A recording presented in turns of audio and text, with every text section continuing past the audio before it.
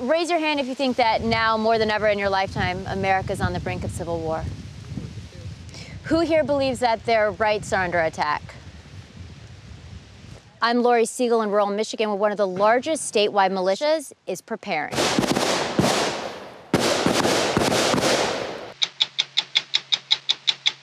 Three weeks before the presidential election, we were invited to Southwest Michigan to spend the day with the Michigan Home Guard militia. And you're ready We watched as they practiced military style drills in preparation for what they believe is the possibility of civil unrest resulting from the election. You're gonna go over your head. Okay. Every week, the Home Guard holds trainings across the state. Today we're going over room clearing. Today, they're practicing building infiltration exercises that they imagine could be used in a hostage rescue. Room clearing's tricky business, and it never goes as you think it's going to. The group formed in 2014.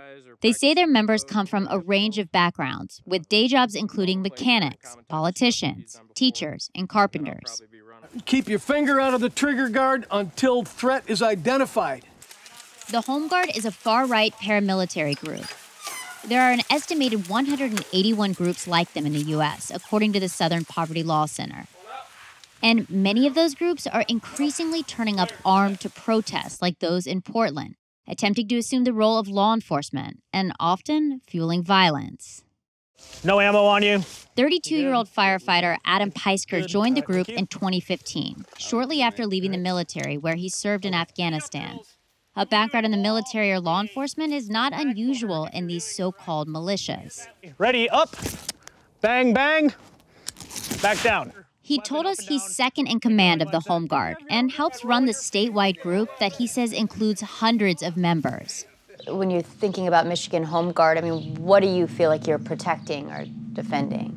At this current point in time, we are protecting our group, our members, our families. They fear government overreach, like mandatory vaccination, gun control, and most recently, COVID 19 shutdowns. In May, members of the Home Guard stood outside a barber shop in Owosso, Michigan, determined to help the store stay open in spite of the governor's lockdown orders. It is in the self interest of these groups to say we have a right to do this, but they don't. They're just wrong. Attorney Mary McCord, who worked in the Obama and Trump Justice Departments, is an expert in private militias. In 2017, she represented Charlottesville, Virginia, in litigation against several paramilitaries involved in the deadly alt right rally. She says it is illegal for private militias to train or engage in paramilitary activity if their intent is to use it against the state or to take on the role of police.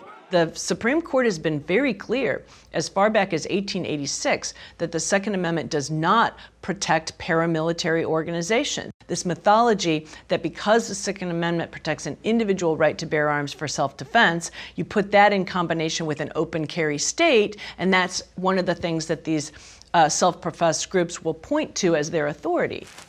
Meanwhile, these groups are growing.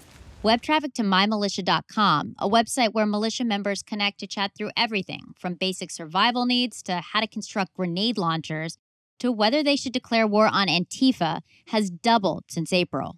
Talk to me about what happened with the Michigan Home Guard around the pandemic. It started off okay, that makes sense. You know, we're going to lock down for two weeks. And then our governor kept extending it.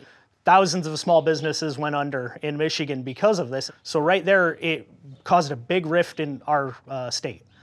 People just started saying, okay, we can't trust the government. We can't buy toilet paper. So, let's try to be more self sufficient, see what the militia can do, but also be able to protect yourself if that riot does happen. While members told us they, quote, won't fire until fired upon, authorities arrested a former member of theirs in a plot to kidnap Michigan Governor Gretchen Whitmer on October 8th.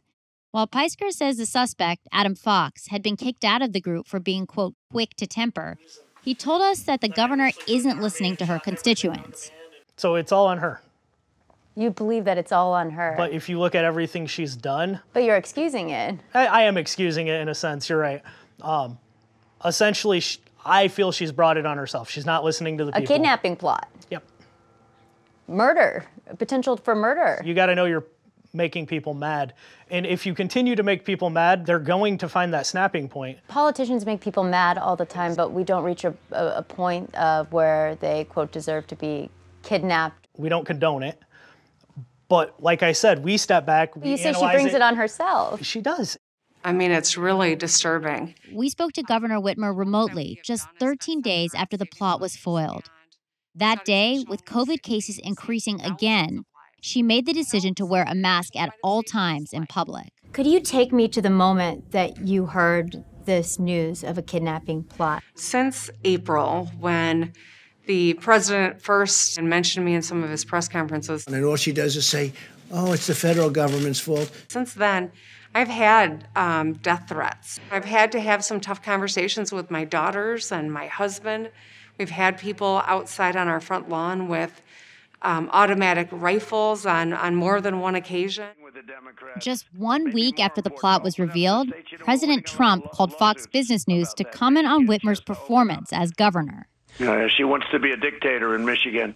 Two days after that, he held a rally in Michigan where his supporters chanted for Whitmer to be placed behind bars.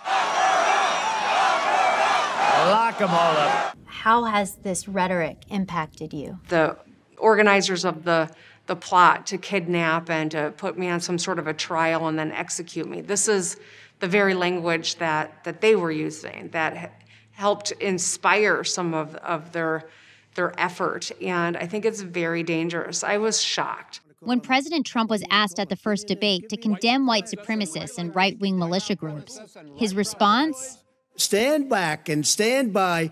was interpreted by Adam Peisker as a message to groups like his. So when he says stand by, what does he want? What is he planning on having us stand by for? In some of his uh, speeches, he has mentioned somebody has to stop the riots if the government won't. So he's kind of sidelining the militia to do it, is what militias out there are thinking. Raise your hand if you think that now, more than ever in your lifetime, America's on the brink of civil war. Who says we aren't already in a civil war? Right. That's already It's already started. When you have cities that are, Burning. you got burning cities, you got Chaz centers set up where people can't go in and out. That is Law enforcement can't c- control it. You have a civil war on your mm-hmm. hands. Peisker told us that if there is violence, his group will not run to the front lines, but instead will wait to see how events develop. Yet, he's quick to defend those who do take up arms, like 17 year old Kyle Rittenhouse, who was charged with illegally showing up with an AR 15 style rifle to a protest in Kenosha, Wisconsin, where he shot and killed two protesters. He claims he was acting in self defense after a gun was pulled on him. Had there been a group like this to help him and, and, and ward that kid off from grabbing his rifle, none of that would have ever happened. But Kyle Rittenhouse also killed two people, injured another person. He was under attack. He was under, He was attack. under attack by a person with a skateboard that came after him for to. You believe that his actions were warranted. Yes. Th- Do you guys believe that you would have made the same choice that Kyle They'd Rittenhouse have killed made? me. I wouldn't have been as fast as him. I think the only thing I have to say bad about Kyle Rittenhouse's situation was he was underage and it was a misdemeanor to carry the rifle at his age. The Kenosha example shows you what tragic results you can have. When you put a group of men together, and it's mostly white men, uh, with heavy weaponry, assault rifles, you know, you do end up getting a crowd mentality. People will often do things in groups that they wouldn't do as individuals. And I think that's why we've seen some of the tragic occurrences. That is what makes this so dangerous. You know, a constitutional lawyer told us that it's illegal to act as a private militia in Michigan. What's your response to that? I don't have a response. I would have to look into it. Ready?